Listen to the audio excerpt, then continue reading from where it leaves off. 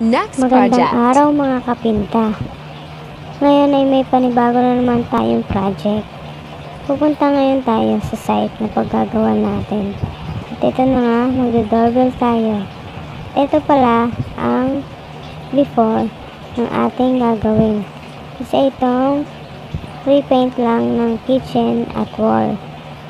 Sisimulan muna natin pintahan ang tabletop ng kitchen cabinet na ito. Tapos ko na palang gawin ang upper ng kitchen cabinet niya. Kaya, susunod naman natin itong countertop ng kitchen cabinet.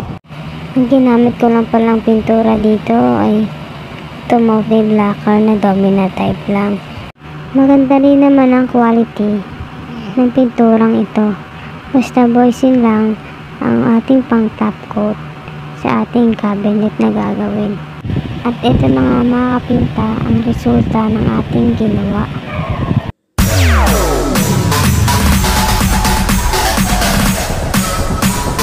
TikTok All Star.